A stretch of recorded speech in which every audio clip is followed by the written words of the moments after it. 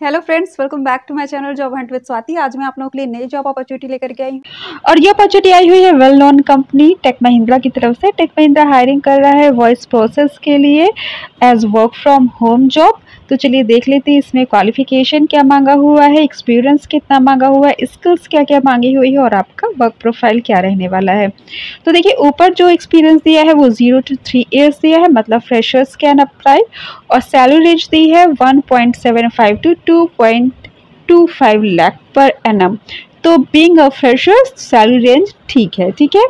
तो remote job work from home job जैसा कि मैंने आपको बताया, ठीक है? ओके अब चलिए देख लेते हैं किसमें क्वालिफिकेशन क्या रहने वाली है आपकी। ये देखिए क्वालिफिकेशन है H S C graduate post graduate तो मिनिमम क्वालिफिकेशन इन्होंने इंटरमीडिएट मांगा हुआ है।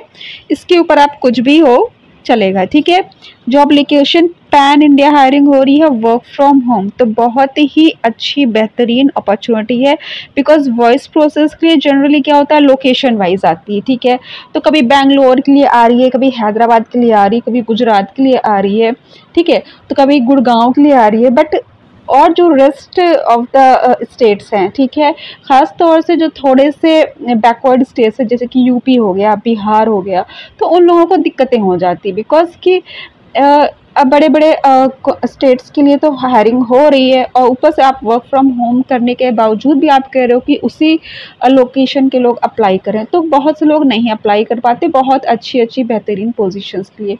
तो टेक महिंद्रा अगर ऐसी अपॉर्चुनिटी दे रहा है कि pan India work from home hiring हो रही है वॉइस प्रोसेस के लिए तो काफ़ी अच्छी अपॉर्चुनिटी है। क्वालिफिकेशन भी मात्र आपका इंटरमीडिएट मांगा है और फ्रेशर्स मांगा हुआ है तो काफ़ी अच्छी अपॉर्चुनिटी है ये फ्रेशर्स के लिए ठीक है? तो चलिए बाकी के डिटेल्स देख लेते हैं। ओके okay, स्किल्स क्या मांगी हुई है? Good spoken English and Hindi skill तो देखिए हिंदी और इंग्लिश इसलिए मांगी जाती है ना कि समटाइम्स आपको लैंग्वेज स्विच करनी पड़ जाती है ठीक है?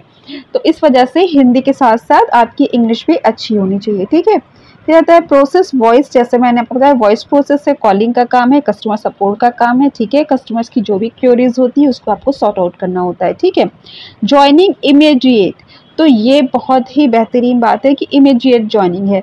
इसमें क्या होता है कि आप अप्लाई कर दो, आपका होना है, नहीं होना है रिवल्ट आ जाएगा, पता चल जाएगा, ठीक है? तुरंत आपका चलो एचआर की कॉल आ गई, फिर अगर स्क्रीनिंग टेस्ट वगैरह होना है तो वो हो जाएगा, फिर इंटरव्यू होना है, वो हो जाएगा फाइनल आपका पता चल जाएगा, हुआ है, नहीं हुआ है। कुछ में क्या होता है वो उनकी आ, साल भर हायरिंग लगातार होती रहती है आप फॉर्म डालते रहो और पता चला कभी तीन महीने बाद रिज़ल्ट आ रहा है ठीक है? कभी नहीं आ रहा है कभी छः महीने बाद आ रहा है। तो लोग ये भी कहते हैं कि अप्लाई तो कर रहे हैं रिज़ल्ट तो आ नहीं रहा है ठीक है?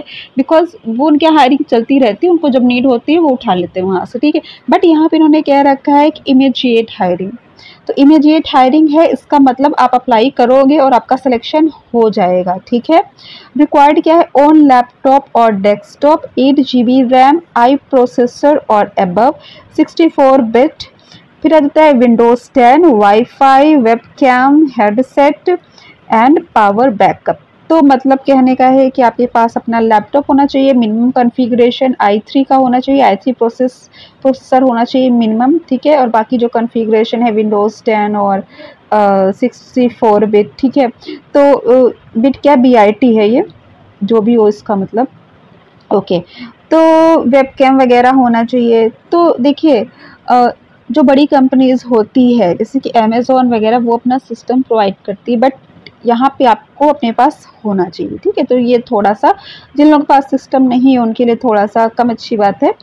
लेकिन अगर आपका सिलेक्शन हो जाता है ना तो आप कहीं पे सेकेंड हैंड भी ले लो, दो कुछ एक आध महीने के लिए किसी दोस्त से मांग लो, घर वालों से ले लो, ठीक है? ये भी कर सकते हो। या इंस्टॉलमेंट में ले लो, ठीक है? ये भी हो सकता है। चलो, बाकी की चीज़ें दिखा देते हैं। जॉब रिस्पॉन्सिबिलिटीज़ आपकी क्या रहने वाली है? Identify and assess customers need to achieve satisfaction, build sustainable relationships and uh, trust with customer through open and interactive communication. कहने का मतलब ये है कि आपका communication अच्छा होना चाहिए कि उससे आप इनके जो भी customers हैं वो जुड़े रहें ऐसा rude behavior नहीं होना चाहिए ठीक है provide accurate valid and complete information by using the right methods tools ठीक है handle customer complaints, provide appropriate solutions and alternatives.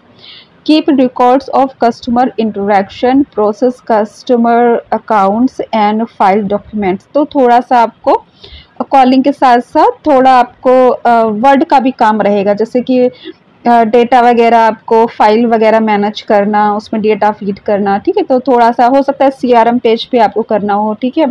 अभी आप फ्रेशर हो तो शायद आपको सीआरएम वगैरह नहीं समझ में आए जब आप करोगे काम ट्रेनिंग होगी तो आपको क्लियर हो जाएगा। Follow communication procedure guidelines and policies ठीक है? तो कुछ ऐसा खास नहीं है जिसको बताया जाए।